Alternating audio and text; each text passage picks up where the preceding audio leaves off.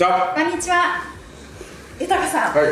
ちょっとまあ新たな二刀流が誕生するんじゃないかって。はい。今ちょっと話題になってるんですけれども、は巨人の利根投手が投打の二刀流に挑戦することがなんと17日に分かったとスポーツ報知が伝えてます。でこれもなんか球団と話し合って。うん。そりゃ話し合うよ。でも DH がないからな。まさにセ・リーグがないんですよ。うんないから、はまあどういうふうに考えるのかわかんないけど、まあちょっと記事の続きを読む。はい。まあ、高い身体能力を生かす道を模索と原監督とも話し合って壮大なチャレンジに対して背中を押してもらったということで、あのトレ投手は2015年にルーキーイヤー2015年46試合の登板で2016年も42試合に登板したんですけれどもその16年以降はちょっと故障が続いたと。去年開幕1軍こそ果たしたもののやっぱりその後右脇腹痛だったり左肘の内側の痛みを訴えて去年9月にクリーニング手術を受けました。うん。で今シーズンも6月6日のイースタン練習試合で右ふくらはぎの張りを訴えてここまでファームの登板も今シーズンありません。で、まあ、何かを変えたいっていうまあまあ。ことがあったみたいなんですまあラストチャンスだよね。もう。そういう意味ではピッチャーとして。ああのー先発っていうのは、はい。まず利根っていうのはしたことないし、はい。ほぼ中継ぎでやってきてたでしょ。うん。でもその中継ぎも高梨とか取ったじゃない。はい。だから変則をね。で利根ってどちらかというと変則で打ちにくかったんだけど、その枠がない。枠がなかったら自分の得意なバッティングを生かすもう得意なんだもんね。そうなんです、まあ、身長174センチながら体重100キロのの体格を誇るパワー自慢パワー自慢だなうんまあパでワー自慢で2軍スタートとなった今年2月のキャンプでは S 班っていたじゃないですかあ2軍の、あはい、あ坂本選手、はい。あの選手たちの打撃練習する動画をこう球団公式ツイッターが公開公開したんですけどあその際にこの利根投手の打撃練習もそこに加えてあれバリーずっと紹介してるらしいんですよ球団側が。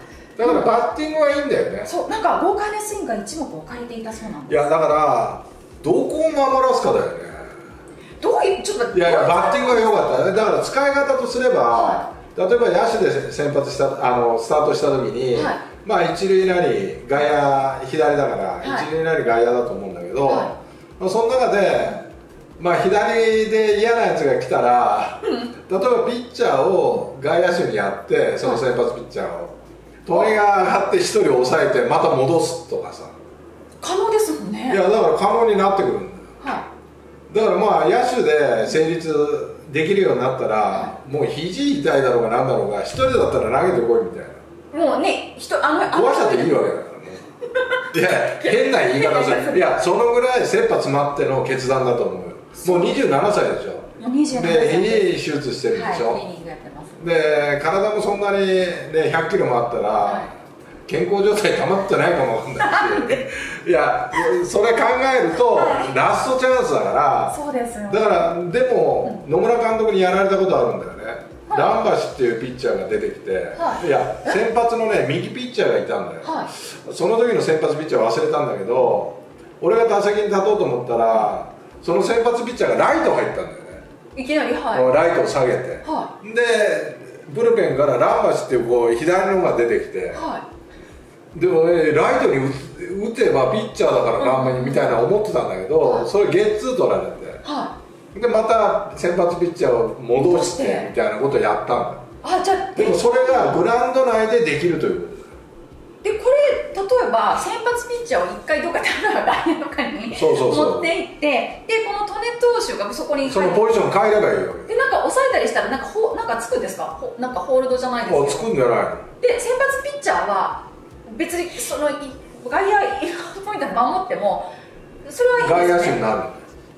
それはなんか例えば南小とか白星とかにいやだからそれまた戻せばいいんですか？多分いいと思う。でも俺はねものすごく可能性を感じてる。これに？はい。これなんでかというと、はい。原監督が好きそうだもん。そういうのが。そうなんですいや今年やってる野球がさ全員野球って。そうなんですよ。だって丸にも坂本にも亀井にもバントさせてるっていうことを考えるとさ、はい。こんなもし仕上がればよ。はい。仕上がれば1人だったらある程度ブルペンで練習しとけば、なんとかなるもんだ。よだって変則だから、はい。オーソドックスなピッチャーだったらそれはやっぱり投げ込みだとかやっとかなきゃいけないけど、はい。いろいろ利根なんかはもう変則でなんか怖いピッチャーだから左からすると。だかどはいらそれだけでも武器になるし、はい。それがバッティングが良くて外野にいる、うん。はい。でワンポイントでピッチャーと変える、俺は原監督が好きそうな作戦だと思うよやりそうですかね。俺はやると思う。俺は1回ぐらいは見れると思ういや違う違う。利根のバッティングはがい。どのぐらいのバッティングをしてるかどうかは分からないけど、はい。でもやっぱそのぐらいの決断をするバリー・ボンズだって言われてる言われて紹介されてる、はい。やっぱそのぐらいバッティングがいいんだと思うよ。はい。だから可能性はものすごく俺は感じるよ、もしやったとしたらね。したら。ということは利根それが見られるのは利根利根投手とか利根選手はじゃあ途中からワンポイントで出てきてそのまま守備につくっていうかもういろんなケースができる。じゃあ例えば先発え先発というか最初から外野で出てて途中でもちろんワンポイントでそこにはめねはい。はまれる可能性もあるとそれとか例えば次ピッチャーから打順が入るとか始まるって言った時にさ変えにくいんだよねピッチャーを。はいそしたらすぐ代打を次の回に送らなきゃいけないから、はい。そしたら一人選手が減っちゃうわけじゃない。はい。そしたらもう隣行っとけみたいな。あそしただらから代打出す必要はない。お前のバッティングでかけるよみたいな。あそっか。まあそういう使い方もできると。いううわー特に今年なんかは選手をねあの休ませたりとか、体力温存とか言われてますからそういった意味でもしかしたら今年え今年見られるんですかこれ？いやバッティングがどのぐらい成長するかだよね。まあまあそこですよね。まあもう始めてると思うんだけどさ。はでもそんなに時間はかからないと思うよ。センスがある。い選手だったら。はい。だから今年中に俺はなんか見れそうな気はするけどね。原監督がやりたがる 性格がもう分かってる。からやっぱりはいそういう布石を打つというかさ原監督は、はい。その自分がやりたいだけじゃなくてない資源をどう育てていくかっていうことを考えると、はい。もうそのそれの一つだよね。うん。だから二刀流そういう二刀流もあるという。大谷はなんか正統派みたいな二刀流かもわかんない。先発をして休まして DH に入れるって、うん。まあこれが一つの正統派というふうに考えると、はいちょっとイレギュラーではあるけども、はい。こういう選手の使い方もあるということだよね。そうですね。だから中日がさは延長10回の時にもう野手が足りなくて三つ間かなんかを代打で送ったのがケースがあるんだよね、い。はでも利根がいたらいいじゃないいいいですだねからどっちの登録にするか分かんないよ。分かんないけどだけど一人でも多く打てる選手がベンチにいるっていうことはいいことじゃないそうですよね。だからそれで戦力になったとしたらはさピッチャーはもともとバッティングのいいあの選手って多いんだよね。はい。だから投げるだけじゃなくてピッチャーのバッティングにもやっぱ各球団が注目していくかもね。そういう意味では、ねそうですよね。これが成功したら。だってあの1000試合投げた岩瀬なんか、はい。バッティングなんかめちゃくちゃいいから。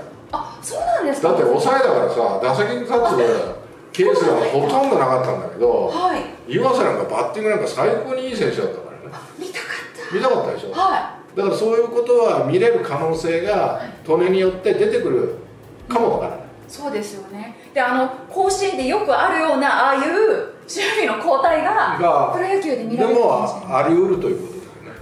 面白いですね。これがセ・リーグで本当にその原監督がこれをねやってきたら面白いだろう DH がないないけどね、はい。どうやって使うかどうかっていうのは見ものだけど。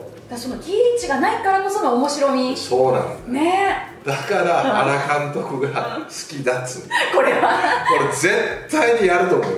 やりますか？いややると思うじゃなくてもやってほしいよな。あもう俺は。もう豊さんからはあ。これはやっぱりこう選手の可能性を広げるためにもさい。やってほしいなって豊さんちょっと原監督に聞いてみてくださいよこれ。はい。本当にやるの？って。いや多分ね言うぐらいだからバッティングは相当いいんだと思う。そっか。だって原監督とも話し合って背中を押してもらったってもう言ってるのでそういう背中を押されたけどびくともしないかもね。100キロ以上。100キロ。でバリー・ボンズって言われて言われてるんで、まあ期待しようよ。ちょっとね楽しみにしたいですね。はい。原監督よろしく